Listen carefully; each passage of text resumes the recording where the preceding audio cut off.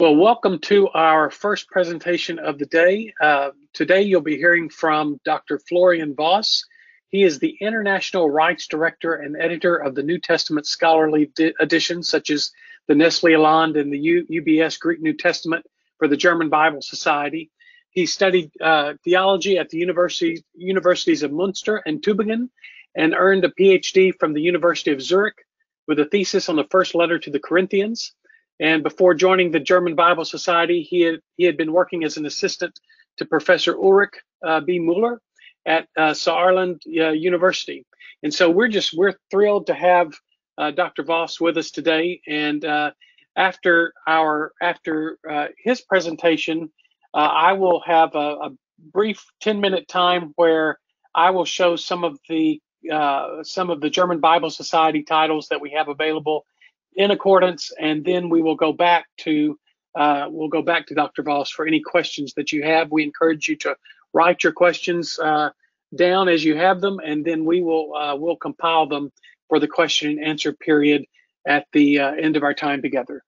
So, Dr. Voss, welcome to uh, welcome to E Academy, and I'm going to turn things over to you. Thank you very much, Rick, for this very kind introduction. Though I'm not seeing the audience, I would like to greet all of you with a warm welcome from Heidelberg in Germany. It's my great pleasure today to tell you something about the Deutsche Bibelgesellschaft, German Bible Society, or in short, GBS, and particularly about the scholarly editions which we publish. First of all, I would like to thank the organizers of this e-Academy, our highly appreciated partner Accordance.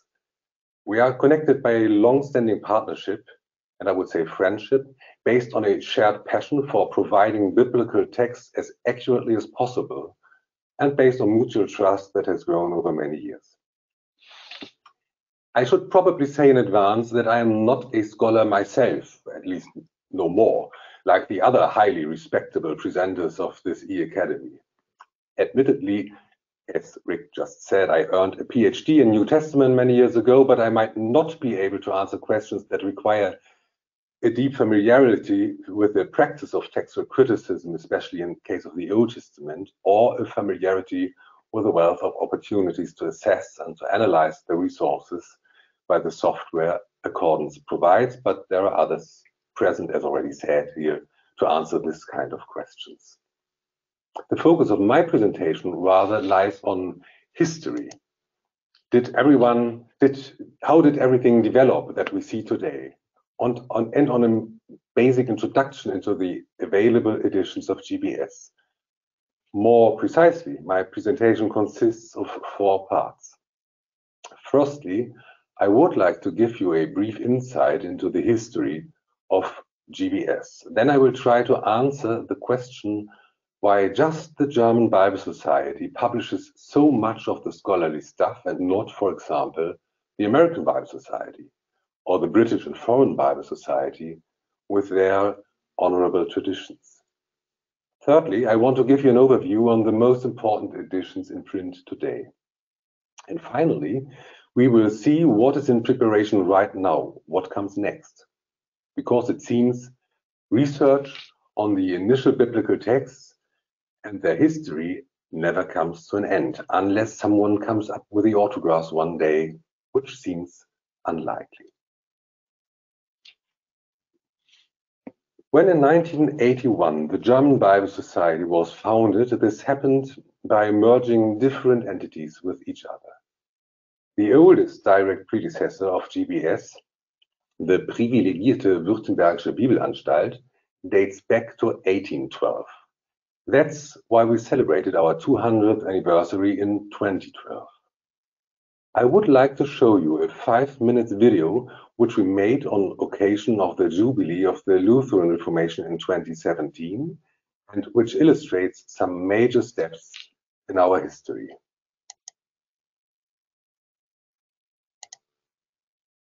Just a moment, please. It should start now.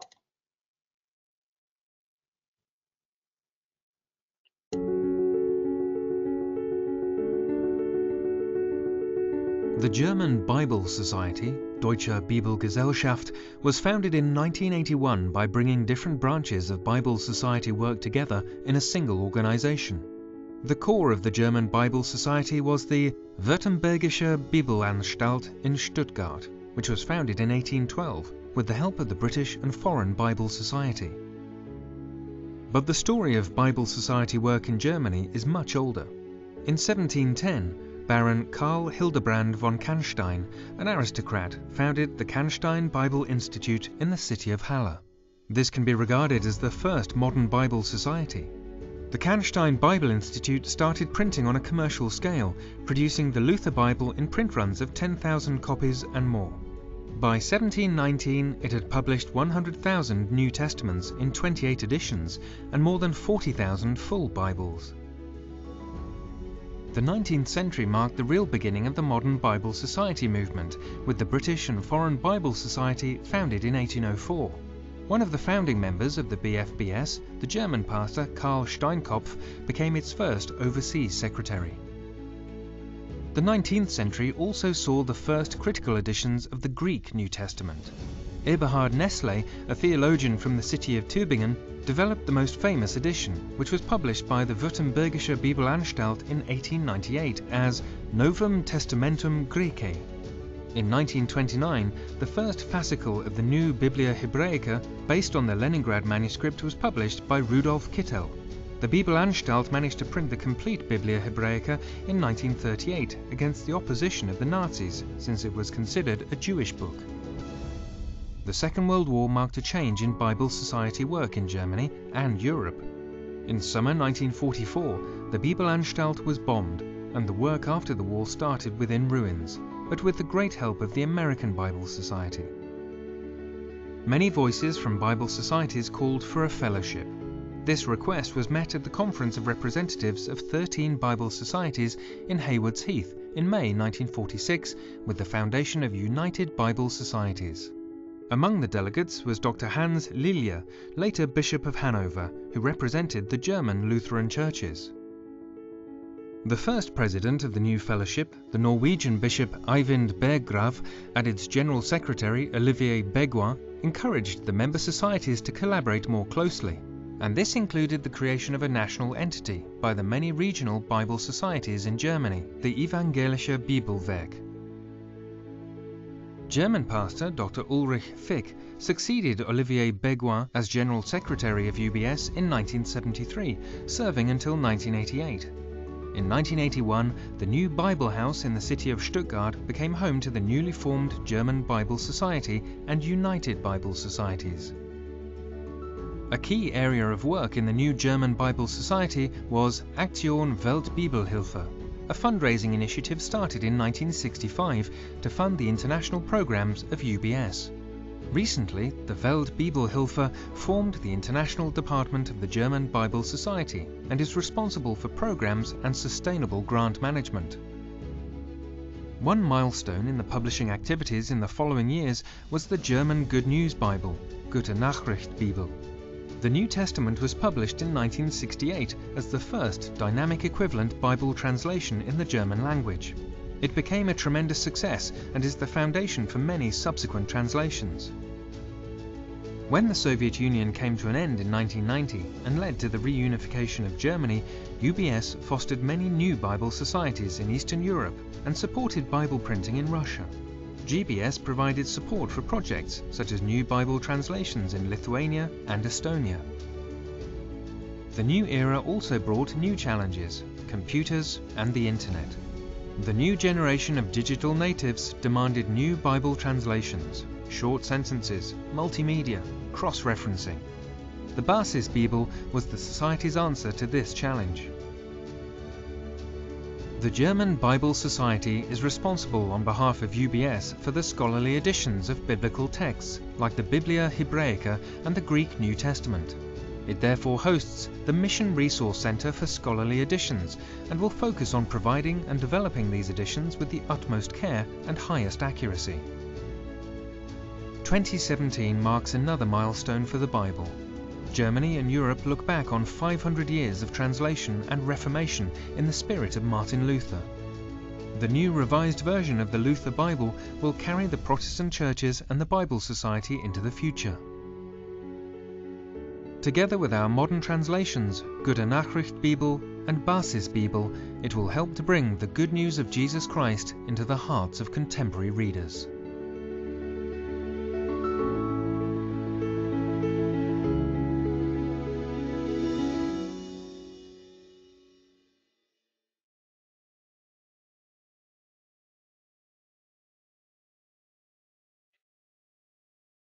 Okay, this was the video. I hope you enjoyed it. Um, and I will continue my presentation now. Um, you have seen in the video that publishing is only one of our tasks, though probably the one we spend most resources for, at least in terms of staff allocation. We do not spend funds which we raise with the Weltbibelhilfe, we do not spend funds for publishing apart from very few exceptions, so that our editions must be at least self-financing. This is something uh, that creates sometimes conflicts of objectives um, because as a publisher we have to earn money with the editions but as a bible society we want to distribute them as broadly as possible but this conflict is not today's topic so, why on earth does the German Bible Society publishes so many scholarly editions of the Bible in its original languages? There are probably two reasons for this, a more general one and a rather concrete one. As this is no lecture in history, I might mention the more general reason just in passing. It's probably no exaggeration if one says that German biblical scholarship, alongside with the British, was path breaking in the 18th, 19th, and early 20th centuries. I hope there are not too many French people listening when I say that. Probably it's sufficient to mention names like Julius Wellhausen, Wilhelm Gesenius, or David Friedrich Strauss. If it comes to textual criticism, one might think of Johann Jakob Griesbach, Konstantin von Tischendorf, or Hermann von Soden, all of whom you see here on the slide. The spirit of enlightenment and scientific engagement also with religion and its writings was widespread. Whatever one thinks of the so-called higher criticism today, it has stimulated the research of the transmission of the biblical text. It does not come as a surprise, thus, that some of the most influential editions of the Greek New Testament and later the Hebrew Old Testament, some, not all of course, were edited by German scholars. The concrete reason is related to a specific name, Eberhard Nestle, a theologian and Orientalist born in 1851. Late that century, Mr. Nestle knocked at the door of the Bibelanstalt in Stuttgart and suggested a publication. He intended to compile a scholarly edition of the New Testament. In 1898, this edition was published. So you might say, Enarche and Eberhard Nestle. About the same time, the Old Testament scholar Rudolf Kittel from the German town Leipzig developed a plan for a critical edition of the Hebrew Bible. Kittel's Biblia Hebraica was then published in 1906 by a publisher in his hometown Leipzig. In 1921, the Bibelanstalt acquired the publishing rights to Kittel's Biblia Hebraica and asked Kittel to revise his edition. Yet another, much later revision became then known as Biblia Hebraica Stuttgartensia, which you're all probably familiar with. These two editions, the, Nest, the Novum Testamentum Graece of Nestle and Kittel's Biblia Hebraica, whose developments we will discuss in a minute, are the nucleus of everything which came later.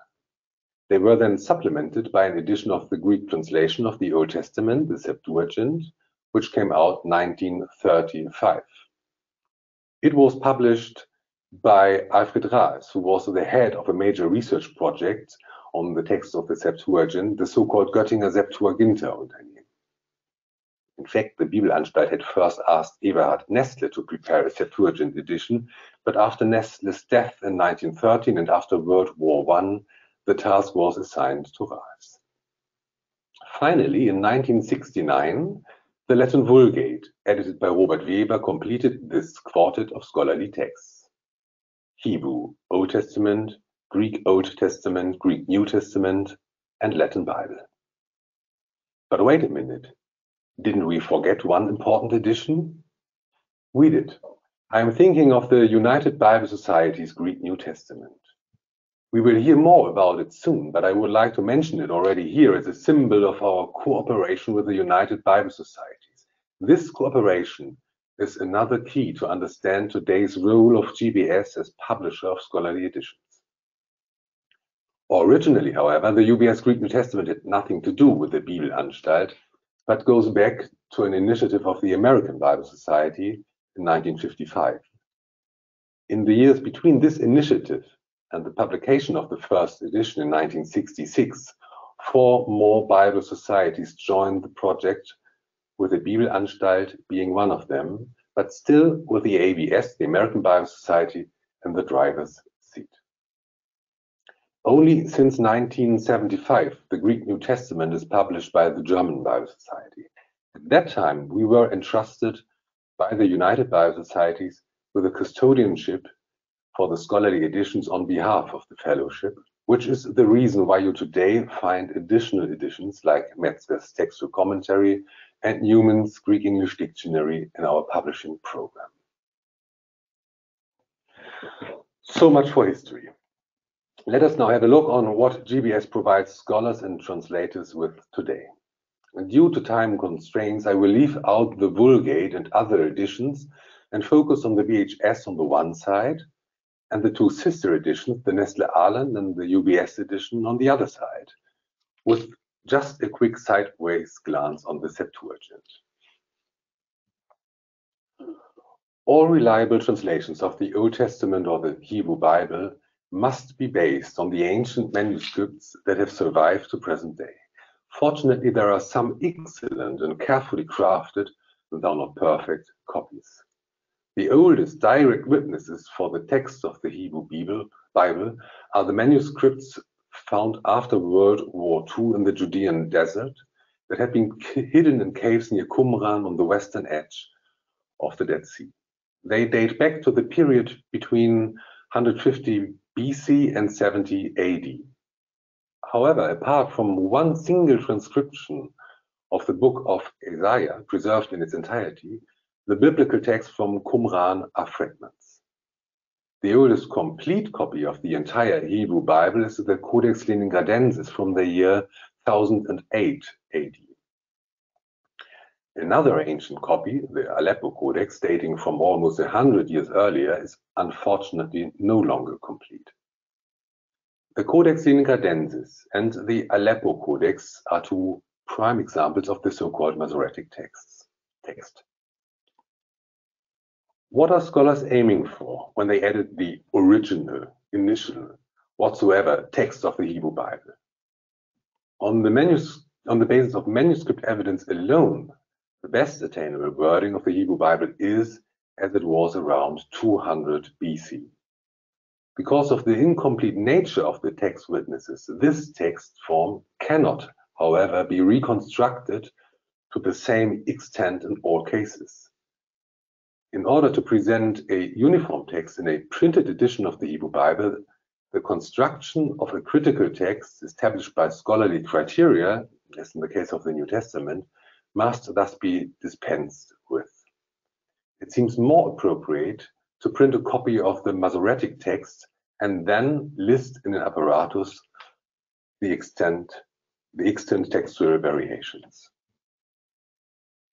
The Biblia Hebraica follows this principle. As mentioned already, its first edition was edited by Rudolf Kittel and published in 1906 in Leipzig. As textual basis, Kittel chose the Hebrew so-called Textus Receptus, edited by Jacob ben Chaim. This was a version of the Masoretic text that Daniel Bomberg had published in Venice in 1524 and 25. Through the centuries, since its first publication, it had become universally recognized as the definitive text of the Hebrew Bible.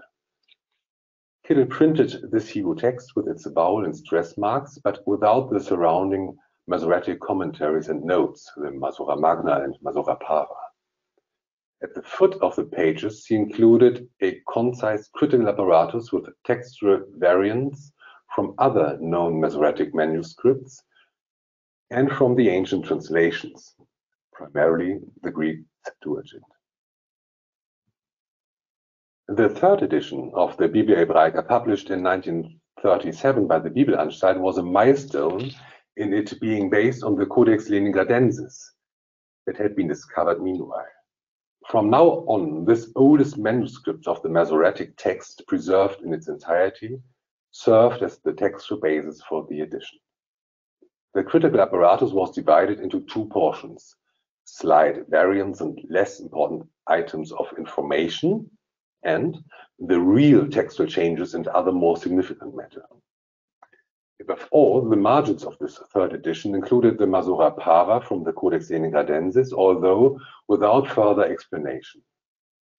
This publication laid the foundation for the high international esteem enjoyed by Biblia Hebraica. Over the course of time and as a result of the inevitable wearing of the printing plates, the print quality of the Biblia Hebraica deteriorated and the need for a complete resetting became evident. A revision also proved necessary for reasons of content, especially in view of the increasing number of text fragments from Qumran that were now coming to light as they were published by scholars around the world. The task of revising the Biblia Hebraica of Kittel was undertaken by Karl Elliger and Wilhelm Rudolph as responsible editors in cooperation with an international team of Old Testament experts. To distinguish the new edition from their predecessors, its title was given the supplement Stuttgartensia. In the most important aspects, the Biblia Hebraica Stuttgartensia, or BHS, followed its predecessor. As before, the Leningrad Codex served as textual basis. For the first time, however, the Codex was printed with a complete version of the Masora, critically edited by Gerard Weil. The notes of the Masora Parva appeared in the outer margin, while the edited lists of the Masora Magna were published in a separate volume with a numerical reference system in the BHS apparatus. The technical demands of this undertaking presented a major challenge to the Bibelanstalt. For the Hebrew texts, a specially modified typesetting unit had to be acquired and adapted, a suitable typeface produced, and typesetters appropriately instructed. The first fascicle of the BHS appeared in 1969 and the work was completed in 1977. To this day, it has remained the only complete scholarly edition of the Codex Leningradensis with all important text variants and suggested corrections presented as footnotes. This is a good time for a glance on the Septuagint, the Greek translation of the Hebrew Bible, which goes back to the third and second centuries before Christ. Its textual history is complicated. As can be seen from the comparison of Greek and Hebrew texts, the Septuagint is based on an independent, in part even older Hebrew text than that which later attained canonical validity in Judaism. It went through an eventful history up to the 4th century AD, when our most ancient complete manuscripts, the major Christian codices, were produced. From the time previous to the 4th century, we only possess fragments. And we have other translations of the Hebrew Bible, such as the ones by the Jewish scholars Aquila, Symmachus, and Theodotion, dating back to the first two centuries AD, and the recension of the Septuagint by the Christian church father Origen, which he created for his famous hexapla edition of the Hebrew Bible in the third century. The Septuagint edition with Alfred, which Alfred Rahlfs edited for the Bibelanstalt, is mainly based upon the three Greek codices Vaticanus, Sinaiticus, and Alexandrinus of the fourth and fifth centuries, which you just saw on the previous slide. Thus, the edition provides a critical Greek text not being identical with any given manuscript, instead of rendering one specific manuscript diplomatically as BHS does with the Leningradensis. Variant readings of these three codices are fully noted in the apparatus, apart from minor scribal errors, as well as the most important deviations found in the three mentioned other early Jewish versions in the Hexapla and also in the Masoretic text. In 2006, we published a revised edition, Editio Altera, of the Septuagint. The revision was carried out by Robert Hanhart, a Swiss theologian and Septuagint expert, who edited many volumes for the Göttinger Septuaginterunternehmen. Apart from the correction of errors, Hanhart did some changes in the Greek text, as established by Rahlfs, but focused mainly on modifications in the text critical apparatus. For example, by including some more uncials and recensions, where Rahlfs had only mentioned the three major codices.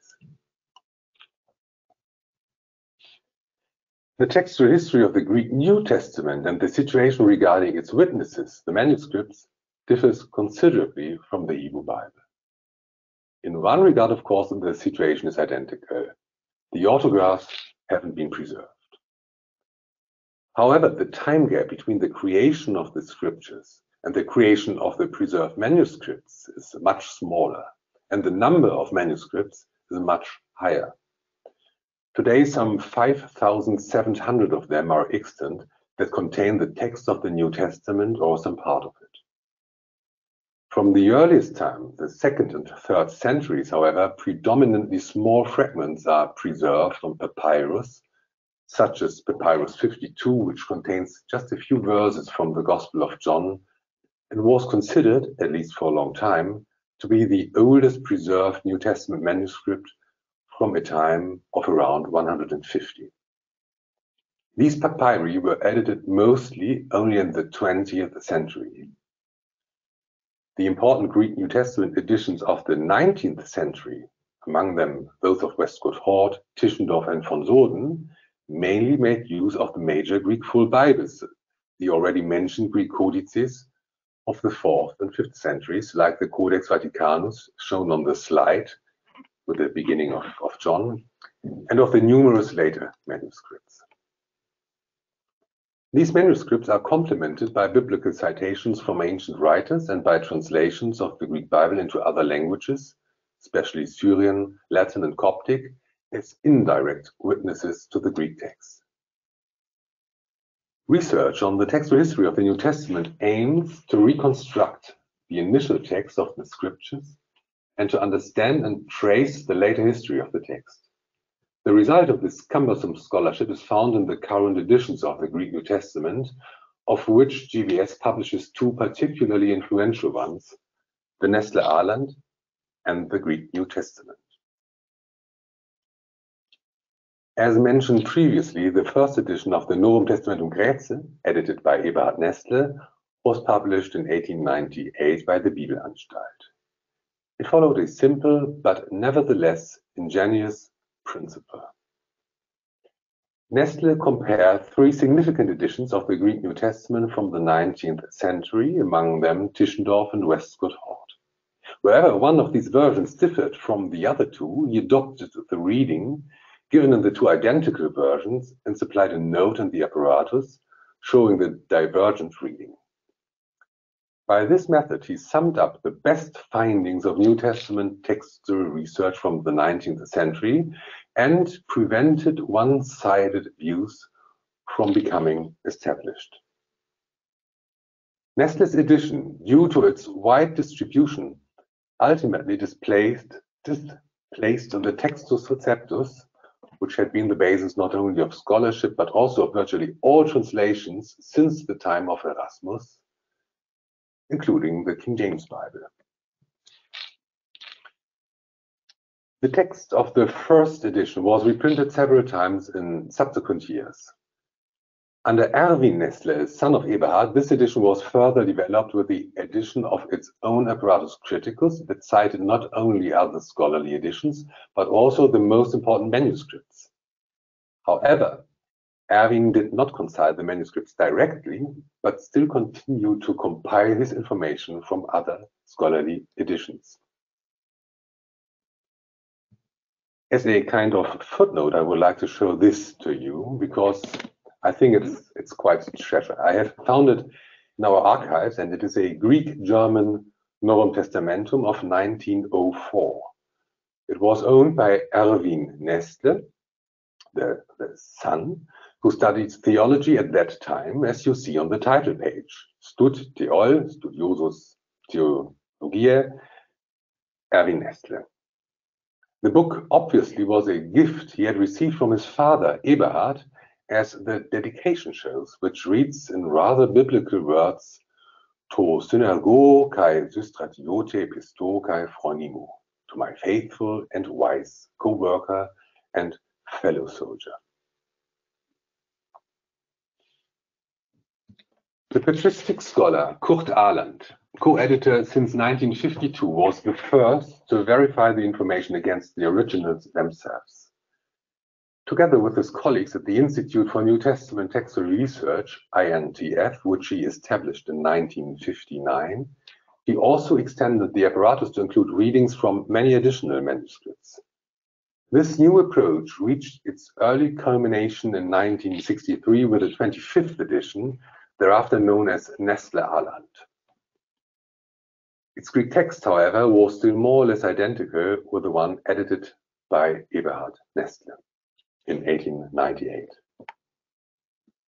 But the great manuscripts discoveries of the 20th century, especially of the early papyri mentioned before, necessitated a fundamental reorientation of the text and a rewriting of the apparatus, and these were both introduced in the 26th edition of 1979.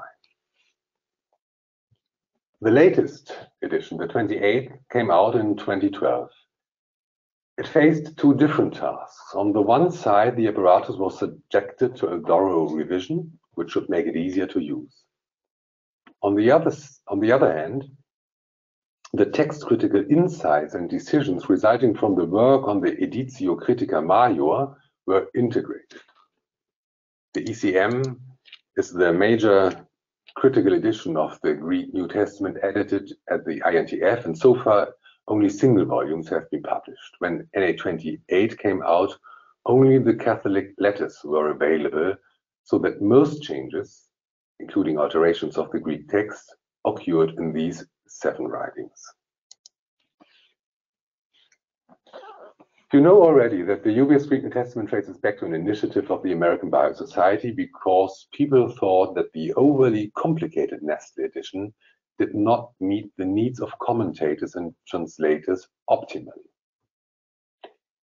In 1954, Eugene Nida, then Executive Secretary for Translations at the American Bible Society, proposed to the United Bible Societies the development of a new Greek New Testament edition.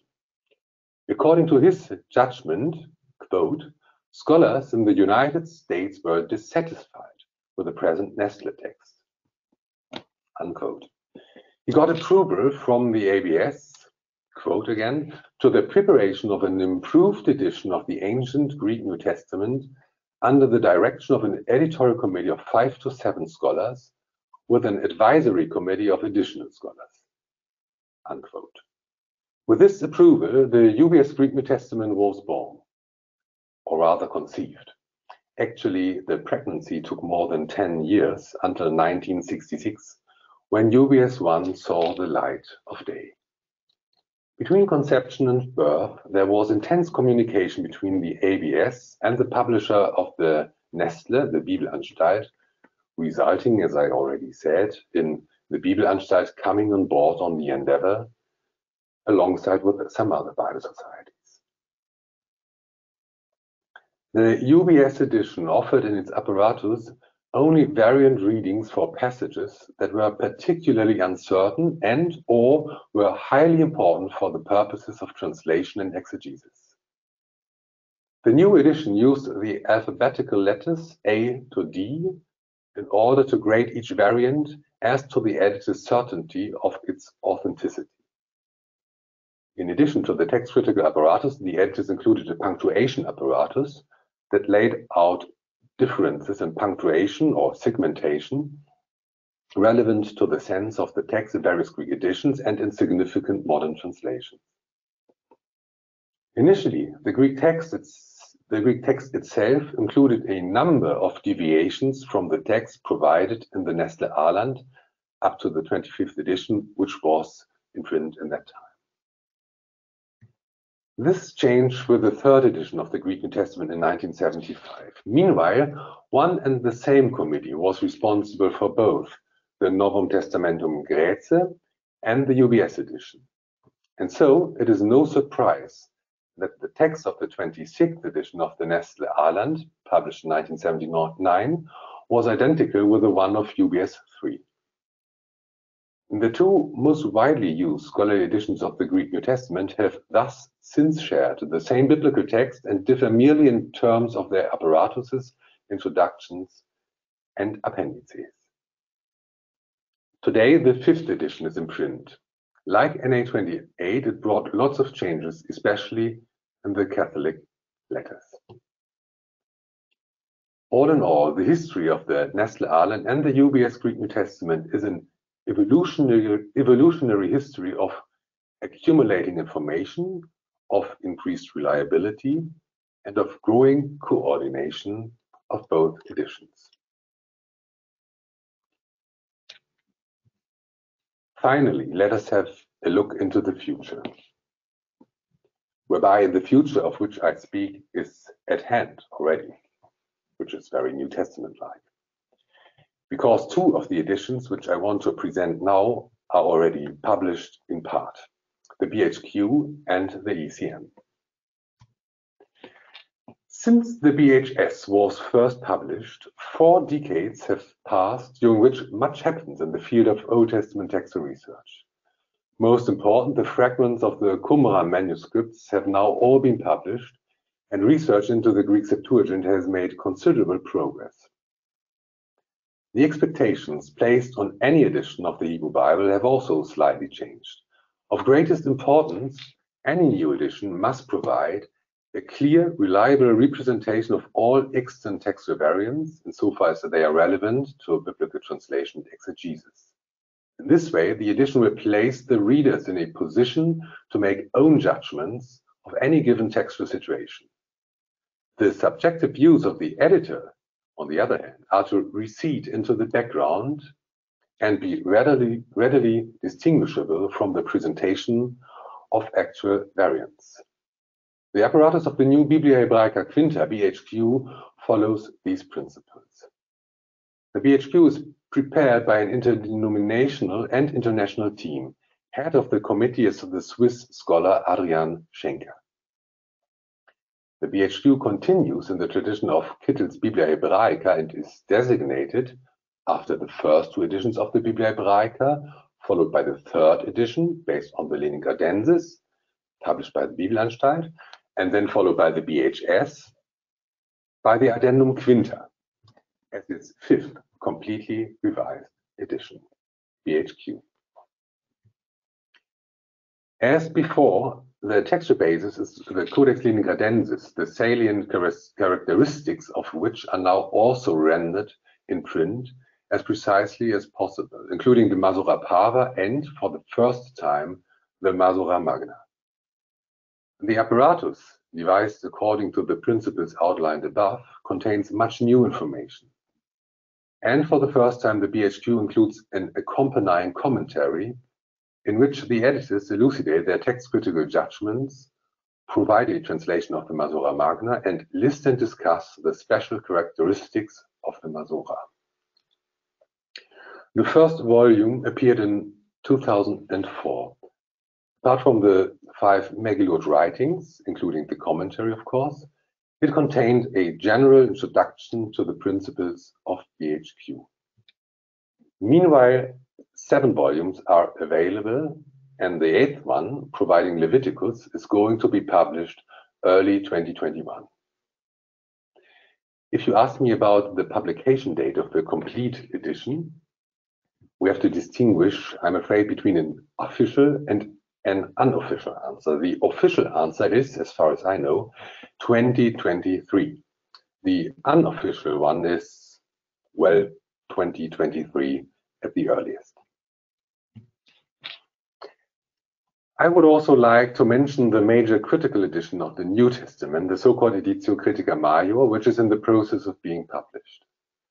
It is edited by the INTF in Münster and it documents the history of the text through the first millennium on the basis of Greek manuscripts, ancient translations, and significant citations of New Testament texts and ancient Christian literature.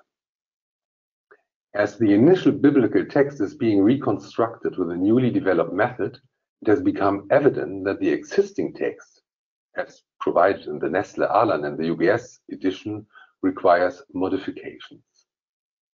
Today, two volumes have been published, providing the Catholic letters and Acts. The insights gained in connection with the first volume, Catholic letters, were already implemented in NA 28 and UBS 5. The insights in connection with the latter volume, Acts, will influence NA29 and UBS 6. Another volume of the ECM is close to publication and will also be published in time for NA29 and UBS 6. It will provide the Gospel of Mark. Nowadays, it is impossible to realize such a project as the work of a single person or even as the work of a single institution. For this reason, the INTF cooperates with other research institutes, among them the Institute for Textual Scholarship and Electronic Editing in Birmingham, which is responsible for the Gospel of John and the Pauline letters. And what about a publication date of the complete edition in this case? Well, external funding of the project runs until 2030. So it wouldn't be bad to be done by then. In 2012, the United Bible Society has appointed a new editorial committee for future editions of the Nestle Aland and the UBS edition. The editors meet annually for working weeks, and meanwhile, NA 29 and UBS 6 are taking shape. Early on, I already I, I talked about the history of the Nestle Aland and the UBS edition as an evolutionary process. This will apply also to the next edition of the Nestle Aland, NA 29. The structure and the main features of the edition will remain unchanged. Of course, we will see changes where the Greek text, we will see changes within the Greek text where ECM is available, and the apparatus in particular will be once more thoroughly revised and will be based on a carefully reviewed selection of manuscripts. Admittedly, this will be relevant primarily for commentators and expert users and for those who just want to be up to date regarding textual criticism. Well, one change will probably gain the attention of a larger readership. The editorial committee has decided to adapt the sequence of writings, New Testament writings, to that found in the overwhelming majority of oldest manuscripts. This means that Acts will be followed by the Catholic letters and that the Pauline letters will follow only afterwards. I have no idea whether and how this might be implemented into Bible software like Accordance.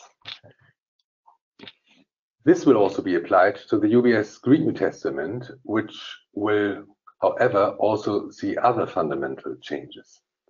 The trend to aggregate more and more information in the edition will be reversed for two reasons. Firstly, it is today generally no goal in itself anymore to provide as much information as possible in an edition in light of the abundance of information which is available in the internet. This abundance not only allows, but requires that editions, especially editions for beginners like the UBS Greek New Testament, focus on information most relevant for their target audiences and thus serve as gateways. They may then trigger interest to dig deeper into the matter of textual criticism by other means, like the tools which are available online or in Bible software like Accordance, or by editions with other scope like the ECM.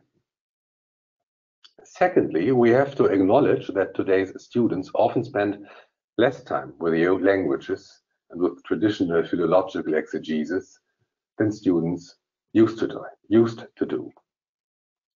The editorial committee thus decided to dispense with information which, according to what we were told by translators and other users of the edition, is used only rarely. This pertains, for example, to the segmentation apparatus. Also, the references in the second apparatus will be dropped. Old Testament quotations, however, will still be marked. In the textual apparatus, the tendency to increase information in the history of the UBS edition has been especially obvious if you think of the sometimes long lists of versions, church fathers, and lectionaries.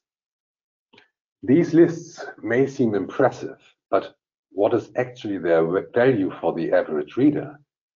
They might often just think, well, this is a long list, so the reading must be secure which is not necessarily the case. UBS 6 will thus focus on the major versions and the most important church fathers and will also mention the lectionary evidence only if it differs from the Byzantine tradition, instead of listing all the singular lectionaries as it is the case now. It also became clear that the editors should again go through all apparatus units in the edition and examine whether they are really relevant for translation and exegesis. Especially units providing individual readings of specific manuscripts, so-called Sonderlesarten. Just because these manuscripts are old and honorable, like the Vaticanus or the Codex Bezae, will be removed. There are others, however, which will be added because the committee considers them important for exegetes and translators. In the process of selecting these units, special attention is being paid to the Byzantine tradition because the Textus Receptus still plays an important role in the field of translation in many areas of the world. On this final slide, you can see how the beginning in, of First Corinthians, it's just an example, might look like in UBS 6. This is anything but final, and we will have a different font certainly, and other things will change. But it shows the direction, I think. Less, but hopefully more relevant information and focus on reader experience. With this outlook, I am coming to an end. I hope that one or the other aspect of my presentation was interesting for you. Thank you for your attention so far.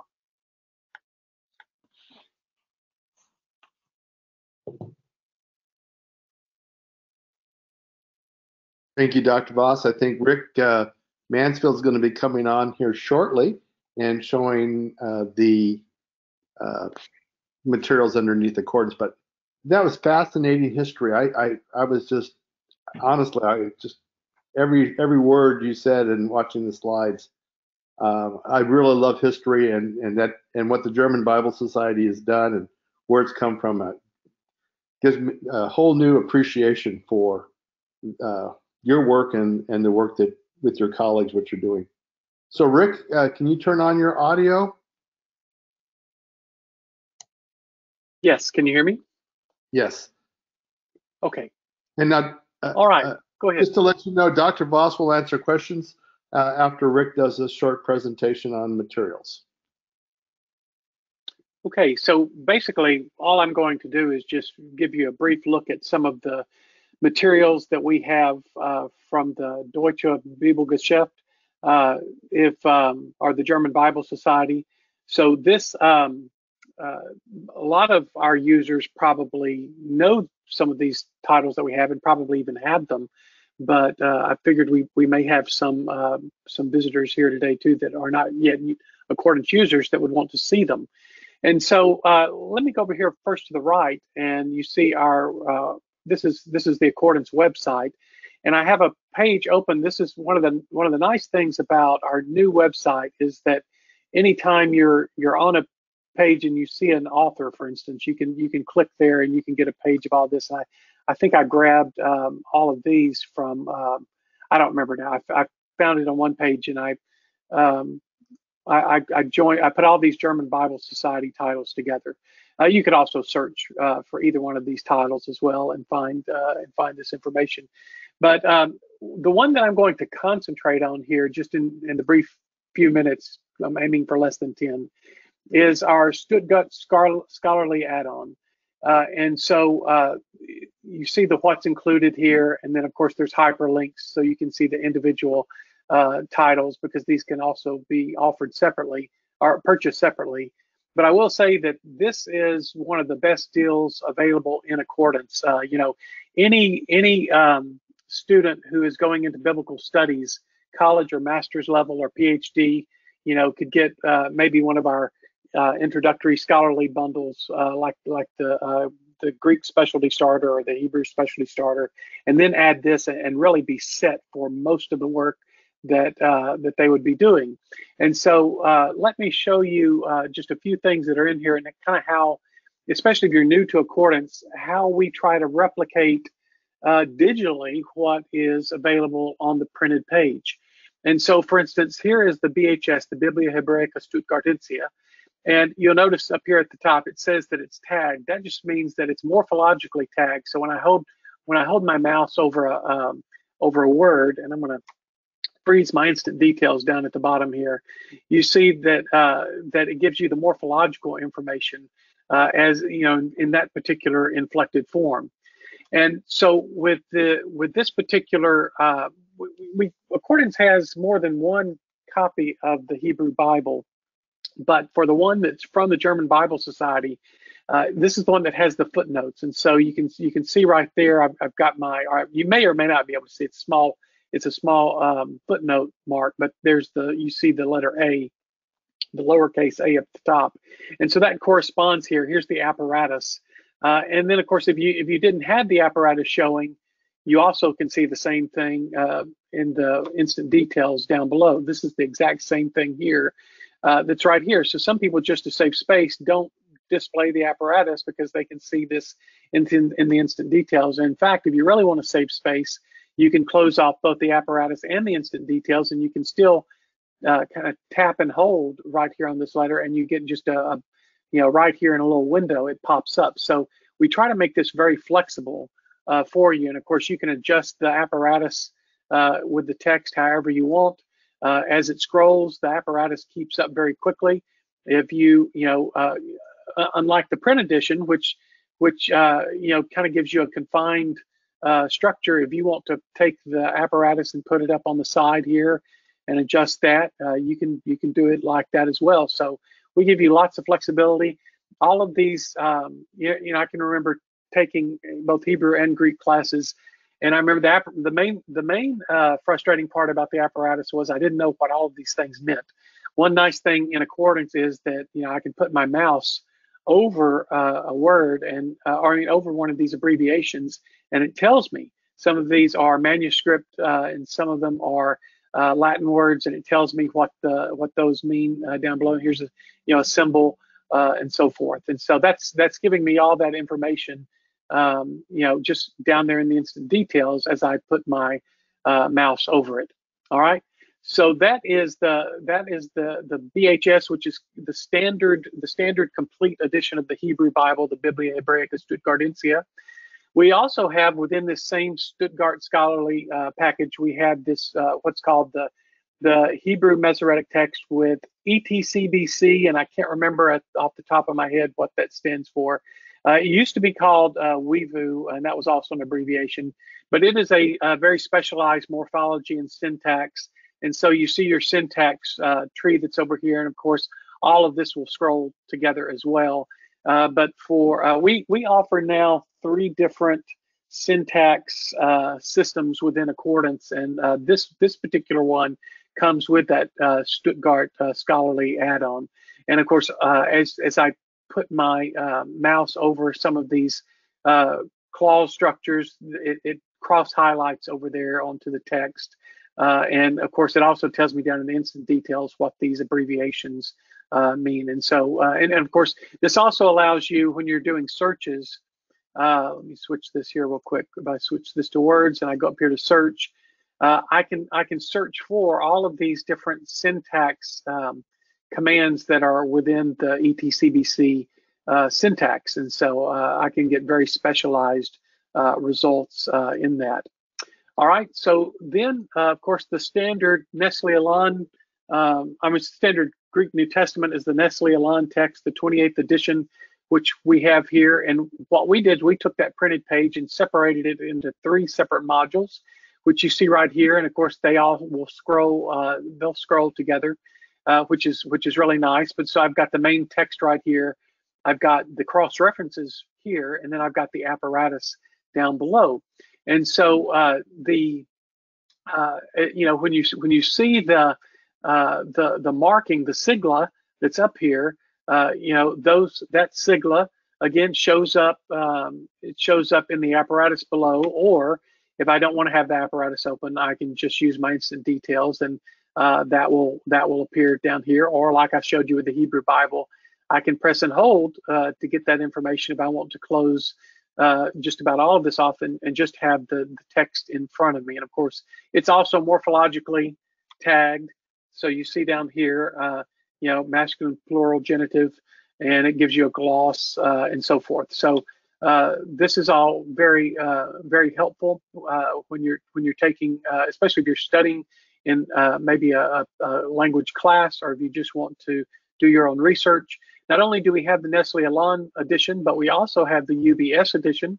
And, and you know, it's it's interesting because the you know the text is primarily the same, but one thing that we tried to do is um, is to reproduce the formatting distinctions. So, for instance, here in James 2:8, you see bold text here, uh, which is how the UBS text uh, displays uh, quotations from the Old Testament. But now if I go back to the Nestle Aland text, what you see in James 2:8 uh, is the uh, is italics because that's the way that it's generally shown in the Nestle Aland text. So we, we try to stay true to that kind of formatting uh, as that's used. And notice even the paragraph breaks uh, are are true. There's a paragraph before verse 8 in the Nestle Aland, but there's not in the UBS text. So we we honor those types of uh, those breaks and uh, uh, you know for for each edition that you might be using. all right, so then we have our Septuagint, and again thinking about well how how are you going to make this digital you know on the printed page? So for instance, in certain sections, uh, or, or really in the entire book of Daniel is one example where you have two different Septuagint traditions. And so we have our primary um, uh, Septuagint text over here, and then on the right we have what we call our parallels. But this, for instance, is the Theodotion uh, text. We have separate. We've separated out the apparatus for both of these as well, and so uh, you can have this content uh, side by side uh, and compare that uh, as you as you would want to. Um, again, these these words are morphologically tagged, so you see the you see the um, you see the words down there at the bottom. Um, let me freeze that. And so, you know, I have third person singular, aorist, passive, indicative. Uh, so, yeah, I, I, have that there as well. And um, so this is this is very this is very convenient. And of course, I, I, should mention with any of these, if you you can add in a you can add in a translation as well. And so, you know, for the Septuagint, uh, we have a number of English uh, Septuagints. Uh, let's see here. If I go here to uh, uh, you know, we have Brenton's, we have the NETS, we have we have the Septu the Saint Athanasius Academy Septuagint. I'll put in the NETS here side by side, and again, that'll all scroll together. Now, again, this NETS doesn't come with the Stuttgart package, but it is available as an add-on. So we we also have the um, we also have the Latin Vulgate, and in the same kind of uh, the same kind of setup as we have with the Septuagint, uh, any place where there are um, parallel text, we have a separate module here so that these can be placed side by side. And, uh, and you can compare these separate apparatus uh, windows as well uh, that are side by side. We'll scroll. And again, just like I showed you with the apparatus uh, in the in the BHS, all these abbreviations for these manuscripts, it tells you what these are down there in the instant details at the bottom of the screen just when I put my mouse over them. Uh, if if I need to, uh, if any any um, um, uh, verse reference will show up at the bottom, and I can change that if I want to to uh, to, to Latin or Greek or you know for the Septuagint or the Hebrew. I, I, can I can adjust that however I want to uh, to show up uh, that way. Uh, there's also a um, with the Latin text there is a Latin dictionary, and so uh, if I if I triple click on a word, notice it took me here to to my Latin dictionary, and so uh, these are these are just short definitions. It's not really replacing a full uh, Latin lexicon, but this is one of two or three Latin dictionaries we have available with the Accordance, and this particular one comes with the um, uh, comes with the Stuttgart package. Uh, this uh, I was seeing if it gave us any more information about this particular dictionary, uh, and I, I, don't really see a lot of information there, but I'm sure it's it's there in, in some of the, the reading materials that we have for this. So um, let me go to the next one. Uh, interestingly, with this uh, with this uh, scholarly add-on, if you want to get into the Gospel of Thomas uh, type studies, uh, uh, you know from and you know from the I believe Tom, Gospel of Thomas is from Nag Hammadi. Th then we've really got you covered because we have we have the the Greek text.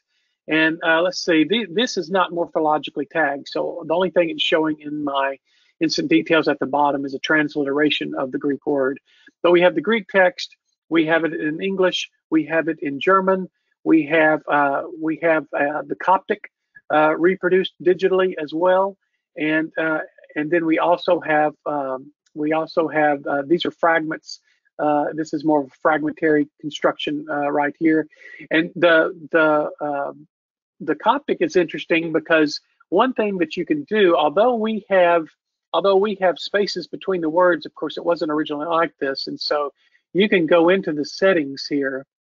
And uh, if I go into advanced and I want to hide the spaces uh, for that module, now it runs together just like uh, just like it did in the original manuscript. And if I were to pull this wide enough, uh, it will even it will even stay true to the to the columns, uh, you know, to, to the lines in the columns on some of the manuscripts.